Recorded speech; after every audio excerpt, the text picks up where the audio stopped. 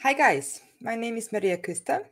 I'm IT Service Manager by Siemens, and today my colleagues and me would like to give you some overview about motivation and challenges we have setting JFrog Artifactory running as the IT service in our company. So, three years ago, uh, we had follow situation. There were a lot of developer teams working with the different development platforms using diverse decentralized solutions for hosting their binaries. We had teams hosting their binaries on TFS platform, which is in principle not designed for binaries hosting. We had teams hosting their binaries in ClearCase. Some teams used different shares, putting their binaries there. Some teams hosted the binaries on the local machines and some teams found some open solutions building shadow ITs. All these solutions had to fulfill some important company requirements like how to keep binaries secure, how to share binaries with other projects, how to fulfill all legal requirements, how to reduce costs for administration, and how to make everything more performant and available for developers. There was definitely the necessity in our company to establish a unified central managed platform for binaries hosting, fulfilling all functional and performance requirements coming from developers, and fulfilling all security and legal requirements coming from management and reducing costs for administration. Today, we are providing a global service within Siemens, making Artifactory available for developer teams in our company. We have one dedicated team administrating all Artifactory assets spread worldwide, supporting developer teams to integrate Artifactory in their development pipelines, taking care about all security and legal aspects should be fulfilled in order to manage the binaries in the proper way, and being permanently in touch with JFrog getting support from their side. Here's our service in numbers. We have Factory clusters in 15 locations spread worldwide on three continents. We are hosting 30 or 43 server in the background. We have one team taking care on whole server setup. We have one supplier, JFrog. We're supporting more than 250 software projects and serving around 6,000 developers. We have 150 million accesses per month on our systems worldwide. What are the advantages of setting Factory as an IT service? We set up Factory as the single binaries hub in our company. We established Siemens inner source hub using Factory platform. We have pretty good overview about third-party binaries being used in our company, scanning them for security and license vulnerabilities. We reduce shadows IT because we have one central service used by many projects. We cover all legal requirements for binaries hosting. We cover all security requirements for binaries hosting. We reduce cost using centralized solution. So these are all advantages we have setting JFrog products as IT service. And my colleagues, our innovation guy Andreas Miering and our service architect Imre Pem will talk more about the challenges we have running Artifactory as the IT service in our company and about solutions we implemented or are about to implement in order to keep our service available, performant, predictable, and secure. So thank you very much. And guys, it's your turn. Bye. After this introduction to our service and how it looks like, I want to give now some hints and uh, how to set up your own service and what supporting technologies you can use. For this, I first want to talk about the difference between the application and the service experience. The application experience is that what you all know of Artifactory. This is basically, is the application great to use and is it good for the users? This is provided by JFrog. However, this is not all that you have as the overall experience. You also have topics like the availability of your system, integrations to third-party products, costs or trainings that you provide to your users. And this is in the end your task to make this great. And to talk a bit about the ratio between application and service experience, this might depend on your own offering. The share of the app experience could be bigger or smaller. For example, if you consider a system which has just a small scale with a few teams, it's a single instance, and you have no legal requirements and only use the system out of the box, it's more or less the app experience. But if you're in a situation where you have quite a huge scale with systems worldwide and you have lots of laws like export control or FDA approvals and an integrated workflow with third party tools like a source code repository in your own company, it might not be that important how good the app really is, but how great your service is. Consider, for example, our service with quite a lot of instances worldwide and dozens of BUs or business units that use it. It's really important how we set up our service. It could be the same for you. And it might be that a bad service offering can outweigh the great application. So keep this in mind. To support you a bit and give you some hints, I want to do now an analysis of some supporting tools and workflows based on some stakeholders. For this, I want to pick the developer and the project manager. Let's first look at the developer. So a typical developer has quite a few interaction points with your service, which you might not often think about, like build failures or downtimes, uh, on and offboarding so that he can use your system, some bugs that he might experience during the usage, customizations and interfaces that you have to other company assets, and the support and the training that you offer. I want to take a look in depth at the failures and downtimes. So a typical scenario would be that a user has a broken build in the archive artifact step of his CI/CD engine. And he will ask himself, is Artifactory now really working? How do I find this out? And in the end, if you're a service provider, it means that you're guilty until proven innocent. So people will always assume that it's your fault if something is not working. So gather metrics and data to provide a clear picture whether everything is up and running and everything is working fine. You have to prove this. It's on you. And also define the term running system. So is it just a ping on the machine? Is this enough for your customers? Is it an HTTP 200 on the main page? Do you have maybe a small sample file that you will upload and download? So, and you say now the system is working, or do you have maybe a defined service level agreement where you have a use case and say, we have to upload this artifact, we have some replications and access right changes, and this is customer approved. Now let's quickly discuss a possible setup how you could measure these um, results. Uh, typically, you should check this quite regularly. I would propose at least once per minute because you always want to know the current status and you don't want old information. You could, for example, run a job in Jenkins, which uses a normal Artifactory user and which log in, logs into all systems. In this case, we have three. And you should connect as similar as the user as possible. For example, use JCLI, and you should also parallelize this for speed because you want to check often. You can then, for example, perform an upload and download of a small size, a small, small file, compare the checksums before and after, and maybe change some properties on the system so that you interact a bit with the APIs. Then measure all these results and compare them against the defined good state. So, for example, you could say the system is always healthy if the results are fine. If you have three consecutive fails, it becomes unhealthy. If you do it like this, you will still quickly see any issues and you can ignore false positives like network flukes, for example.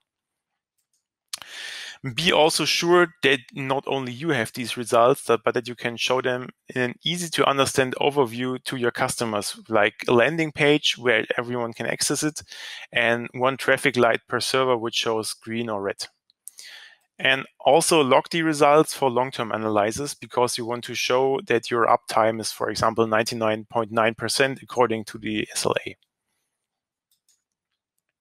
Another stakeholder would be the team lead or a project manager. So also they might have quite a lot of interactions with the service. For example, they often want to know the resource consumption that their projects have because they have to pay for it. They have a project onboarding in case of new projects. They want to go be up and running quickly. They have to maintain the project, for example, check permissions or add new users. And they might be an innovation driver because they want their project to succeed and always want to know if you provide new features. In this case, let's discuss the project creation and maintenance. So if you want to provide a service, you require additional information from your customers so you can do a proper service delivery. Like who is the owner of a repository, who will pay for it, and how, who should be contacted in case of issues like a hacker attack. Who is allowed to grant access to the project resources? And do we have any special legal requirements that we have to cover? There might be export, control, there might be FDA approval, there's a lot. And you have to work together with your customer for this information. You cannot provide this on your own. But if you have these infos, it could be a baseline for future automations and easier, easier interactions.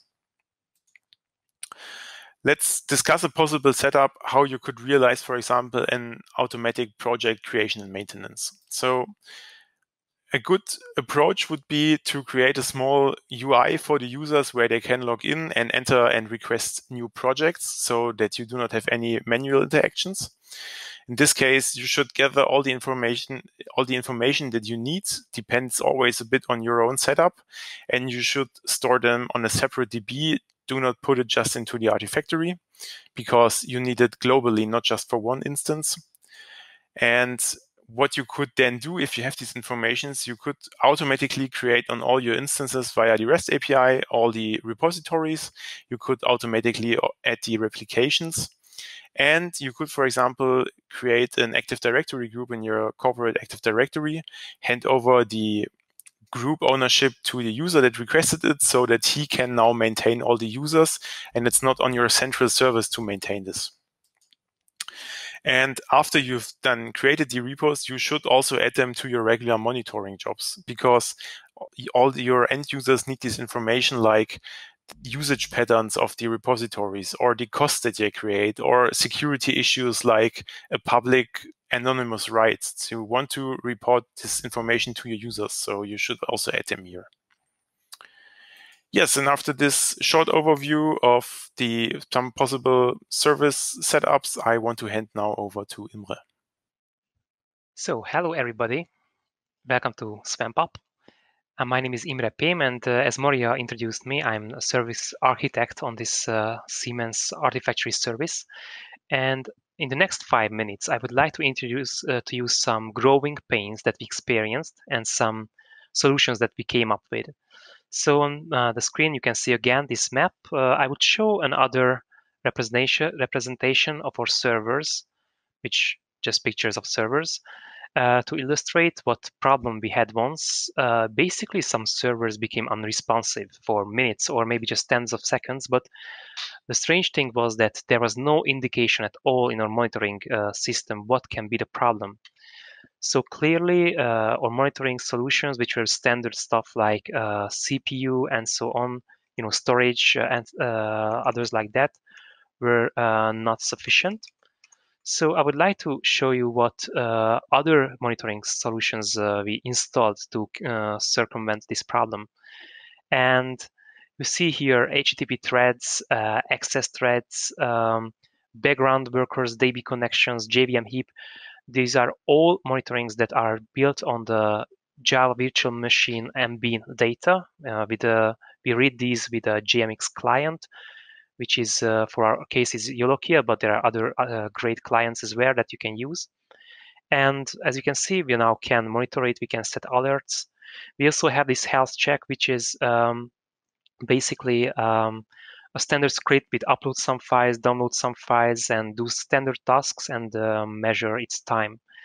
So uh, this monitoring is really essential for our service at this scale because um, without it, we wouldn't um, um, be able to function. As you see, uh, we had um, before that sporadic problems. And by the way, uh, it took several weeks with, together with JFrog to find out that it was a problem with um, um, running out of the HTTP thread pool that uh, was uh, enabled in um, in Tomcat.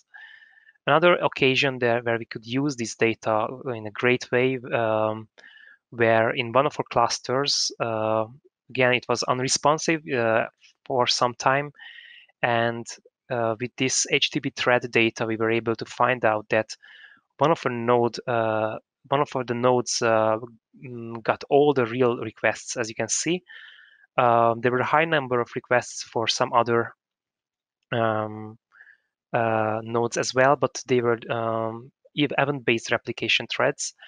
And uh, as the load balancing scheme um, were based on the lowest number of threads, it was a problem. And of course, we adjusted our load balancing and solved the problem.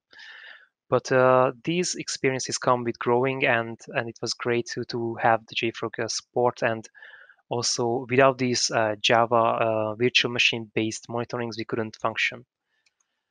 Um, so this was some problem that we had to overcome. I hope uh, maybe you get some ideas from this. And I would like to show you something else. Um, we have these servers and they generate logs as all the servers all the time. In many applications, it's not really of big interest. Um, for many others, they just look at some logs maybe once a year or they just archive them for, for traceability. But for us, it's really our daily life to dig the logs. Um, I tell you an example. For example, one of the users come to us and say, hey, my files are not replicated to the remote location. What's going on? And then we had to go to the logs and see if he really uploaded the file, maybe just another file name mistake on his part. Maybe the replication uh, ran on a, uh, an error and failed. Maybe uh, it's still running. So uh, we really, really need to go to dig in the logs and we use a central log analytics solution. Again, it's not a big uh, deal. It's not reinventing the wheel, but it's something we couldn't live without. And maybe our solutions uh, will be interesting to you. Uh, we use Elasticsearch. Uh, I know that there are great tools out there um, um, uh, as well. And um, like Splunk, like um, Sumo Logic, but uh, really it enables us to function. Uh, for example, I look at the last uh, 15 minutes of access logs. Uh, let's see what's going on.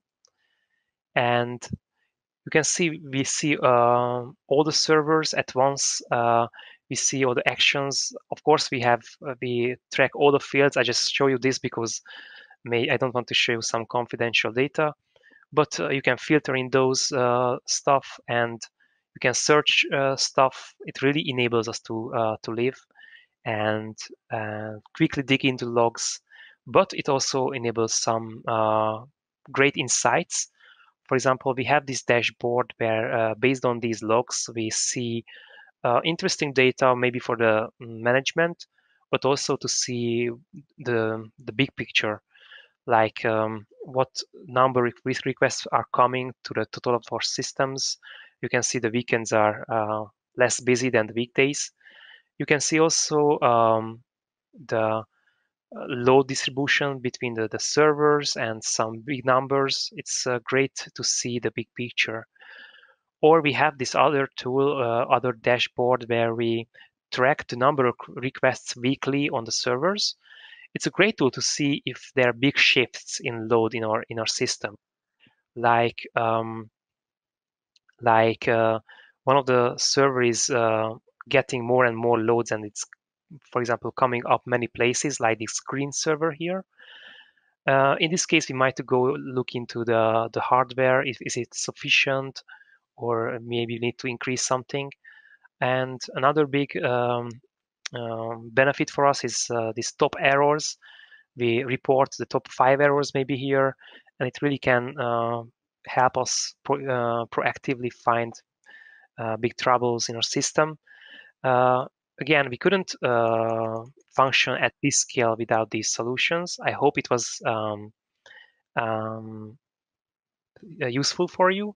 If you have any questions, feel free to to uh, contact me during uh, this session or maybe later. I think my uh, contacts are up there. So thank you for watching and have a great time at SwampUp.